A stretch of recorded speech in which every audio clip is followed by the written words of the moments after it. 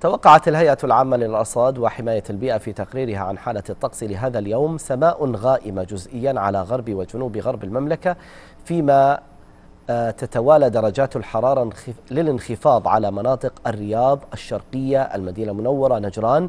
يصاحب ذلك رياح نشطة مثيرة للأتربة والغبار.